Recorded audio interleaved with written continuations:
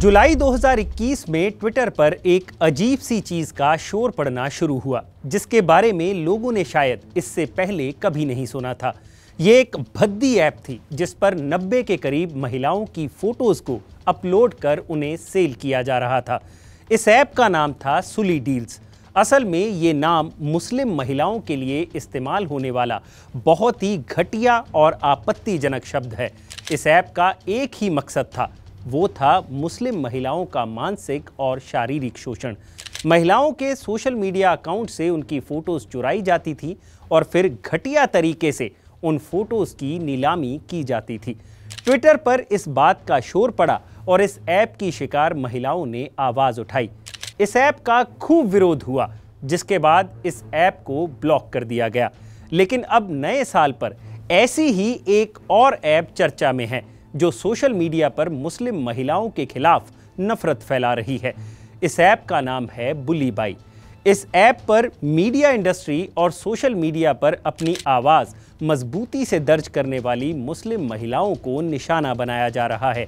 बहुत सी महिलाओं ने अपने ट्विटर हैंडल पर स्क्रीनशॉट शेयर कर ये दावा किया है कि उनको इस ऐप पर नीलाम किया जा रहा है, जिस पर उन्होंने तीखी प्रतिक्रिया दर्ज करवाई है।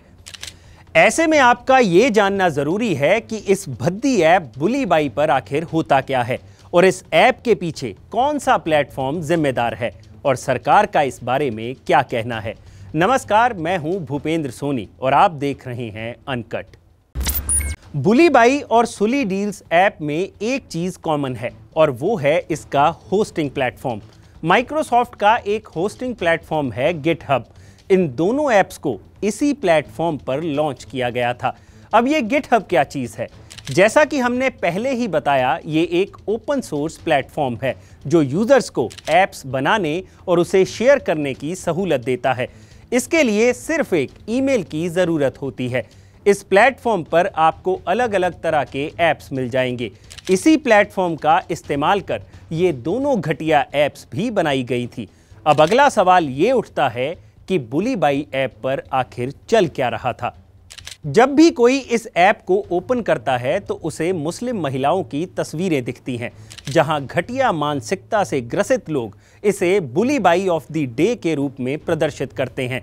जिसके बाद इस ऐप पर तस्वीर में दिख रही महिला के लिए भद्दे कमेंट्स किए जाते हैं और उनकी बोली लगाई जाती है। फिर इसे हैश टैग के नाम से ट्रेंड किया जाता है। ये सब हमारे भारत में हो रहा है। जी, हमारे भारत में। इस ऐप को बनाने वाले की फ़िलहाल कोई जानकारी नहीं है और ट्वीट में जो यूआरएल दिया गया था, वो फ़िलहाल हटा दिया गया है। शेयर किए गए स्क्रीनशॉट पर पंजाबी भाषा में बुली बाई लिखा हुआ है। फ़िलहाल दिल्ली पुलिस ने इस मामले में केस दर्ज कर लिया है। हालाँकि गिटहब की तरफ़ से फ़िलहाल कोई ऑफिशियल स्टेटमेंट नहीं आई है, लेकिन सूचना तकनीक मंत्री अश्विनी वैष्णव ने इस बारे में ट्वीट कर जानकारी दी है कि उन्हें गिटहब ने बताया कि यूज़र को ब्लॉक कर दिया गया है। कंप्यूटर इमरजेंसी रिस्पांस टीम और पुलिस इस बारे में आगे की कार्रवाई कर रहे हैं। फ़िलहाल विपक्ष के नेता इस मामले में सरकार को घेर रहे हैं और सरकार कार्रवाई का आश्वासन दे रही है। लेकिन दुनिया की सबसे बड़ी डेमोक्रेसी में महिलाओं को लेकर ऐसी भद्दी टिप्पणियाँ और हरकतें बर्दाश्त करने लायक बिल्कुल नहीं है और महिलाओं को उनके धर्म के आधार पर घेरा जाना बिल्कुल गलत है। जाते जाते हम आपको सुली डील की शिकार एक महिला की कही बातों के साथ छोड़कर जा रहे हैं, जो एनबीटी में छपी हैं। ये टिप्पणी इन घटिया मानसिकता के शिकार लोगों को आईना दिखाती है। आमतौर पर पुरुषों को ऐसी महिलाओं से डर लगता है जो आगे बढ़कर बात करती हैं। खुलकर बोलना ही महिलाओं पर हमला करने के लिए काफ़ी है और खुलकर बोलने वाली मुस्लिम औरत तो सबसे बड़ा खतरा है। एक अरसा लग गया हमारे देश में महिलाओं को पुरानी रूढ़ीवादी सोच तोड़ने में और अब जब महिलाएँ हर क्षेत्र में आगे बढ़ रही हैं और अपनी मौजूदगी दृढ़ता से दर्ज करवा रही हैं, ऐसे में इन भद्दी ऐप्स का वजूद ये दर्शाता है कि अभी भी कुछ असामाजिक तत्व हैं जो महिलाओं की इस आज़ादी को पचा नहीं पा रहे। ऐसे लोगों को हम सिर्फ़ इतना ही कहेंगे। गेट वेल सून, मामू।